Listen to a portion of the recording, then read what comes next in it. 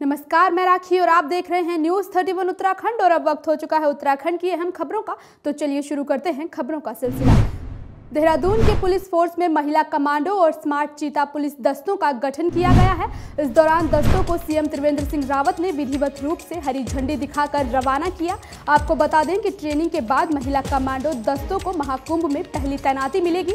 वहीं 22 महिला कमांडो दस्ता पूरी ट्रेनिंग के बाद एटीएस यानी एंटी टेरर एस्कॉर्ट का हिस्सा बनेंगी, जो प्रदेश ही नहीं, बल्कि पूरे देश में आतंकवाद के खिलाफ लड़ेंगे। जो यहाँ पर सैकड़ों जो बच्चियाँ यहाँ पर आज इस कार्यक्रम को देख रही थी, उनके मन में भी एक जोश और उत्साह होता है कि हाँ हम किसी से कम नहीं हैं, हम भी कर सकते हैं। जिस तरह के हैरत अंगेज करतब यहाँ पर हमारी कमांडोज ने दिखाए हैं, वो अपने आप में बेमिसाल है। उनकी जितनी प्रशंसा की जाए कम है। जो आपने कहा फ्यूचर जैसा माननीय मुख्यमंत्री जी ने कहा कि हमें लगता है कि इस चीज़ को हम और बड़े लेवल पर ले जाया जा सकता है। ये 22 जो बच, जो कमांडोज की ट्रेनिंग हुई है ये 12 दिनों की ट्रेनिंग थी और जिस जिस पद्धति में इनकी ट्रेनिंग हुई है उसे कहते हैं मिट्टी सिस्टम मुझे इस बात का गर्व है कि मैं कुछ ऐसा बना पाया अपने वतन के लिए। पिथौरागढ़ के जिला मुख्यालय से लगी सुकौली गढ़कोट सड़क लंबे समय से बदहाल बनी हुई है। दरअसल सुकौली से गढ़कोट तक 2014 में विधायक निधि से दो किलोमीटर की सड़क काटी गई थी जिसके बाद इस सड़क में कोई काम नहीं किया गया। वहीं सड़क में जगह जगह गड्ढे होने के चलते ग्रामीणों को आवाजाही में काफ़ी दिक्कतों का सामना करना पड़ता है। इस दौरान ग्रामीणों ने बताया कि सड़क के सुधारीकरण की मांग को लेकर कई बार प्रशासन से गुहार लगाई जा चुकी है, लेकिन प्रशासन की ओर से अभी तक इस पर कोई कार्रवाई नहीं की गई है। दिक्कतें हैं, परेशानी है, बारिश में इस रोड में चलने की लायक नहीं रहती है। अभी भी आप रोड से आए होंगे, काफ़ी गड्ढे हैं रोड में।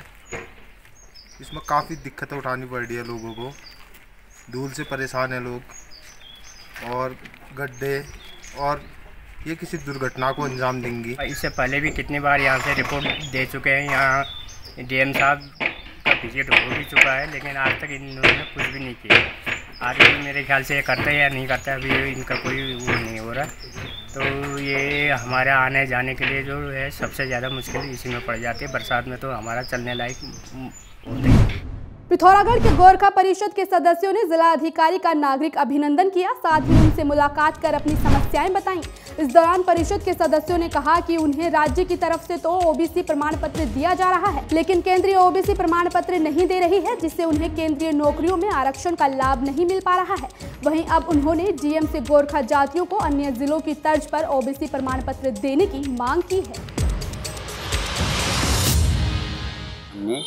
नागरिक का अभिनंदन किया। इसके साथ ही हमारी जो समस्या थी कि उत्तराखंड सरकार में तो हमें ओबीसी का जो है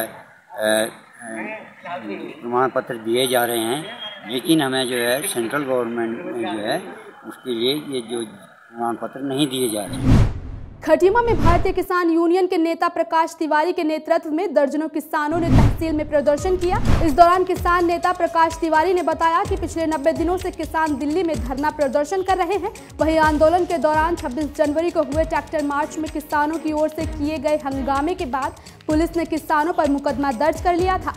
उन्होंने किसानों पर दर्ज किए मुकदमे और तीनों कृषि कानूनों को वापस लेने की मांग की है। जिनके खिलाफ झूठे केस लगे हैं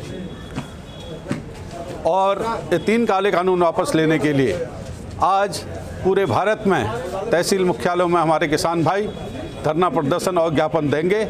इसी के तहत हम खटीमा में हमारे समस्त किसान भाइयों के साथ यहाँ पर धरना प्रदर्शन और ज्ञापन दे रहे हैं। काशीपुर में छावनी चिल्ड्रन एकेडमी में आयोजित भरोत्तोलन प्रतियोगिता का कांग्रेस अध्यक्ष प्रीतम सिंह ने शुभारंभ किया। इस दौरान उन्होंने कुंभ और कोरोना को लेकर केंद्र की भाजपा सरकार और राज्य सरकार पर जमकर निशाना साधा। साथ ही आम आदमी पार्टी पर भी तंज कसते हुए उसे पानी का बुलबुला करार दिया। वहीं उन्होंने सरकार पर कुंभ की तैयारियों को गंभीरता से नहीं लेने की बात कही कभी किसी राजनीतिक दल की ओर देखता है, कभी किसी राजनीतिक दल की ओर देखता है। तो कोई भविष्य आपका इस उत्तराखंड राज्य में नहीं। और इससे पूर्व भी कई राजनीतिक दल आए और पानी के बुलबुले की तरह जो है, उभरे और समाप्त हो गए। बागेश्वर में नौ सूत्रीय मांगों को लेकर प्रांतीय व्यापार मंडल के पदाधिकारी एसडीएम से मिले।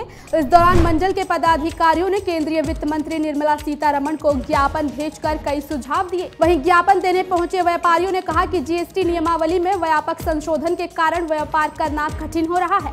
इस दौरान व्यापारियों ने उनसे उनकी समस्याओं के निराकरण करने की मांग की है। कोविड काल के दौरान जो है व्यापारियों का जो शोषण हो रहा है, उसका हम विरोध कर रहे हैं। नए नए जो जीएसटी में रोज रोज बदलाव हो रहे हैं, उसका विरोध कर रहे हैं। एफएसएसएआई के लाइसेंस फ़ीस में और उसके प्रावधानों में जो चेंजेस हो रहे हैं, उसका विरोध कर रहे हैं। ओखलकांडा के ग्राम सभा भूमिका में ग्राम प्रधान मुकेश चंद्र बोध की अध्यक्षता में खुली बैठक का आयोजन किया गया। इस दौरान ग्राम प्रधान ने कहा कि गाँव के विकास कार्यों की गुणवत्ता ही उनकी प्राथमिकता है। साथ ही उन्होंने ग्रामीणों के विकास कार्यों में सहयोग देने की अपील की है। वहीं उन्होंने सड़क के निर्माण का काम जल्द से जल्द शुरू करने की बात कही। इस दौरान बैठक में नवयुवक मंगल दल का गठन भी किया गया, जिसका नाम डॉक्टर अंबेडकर नवयुवक मंगल दल भूमिका रखा गया है।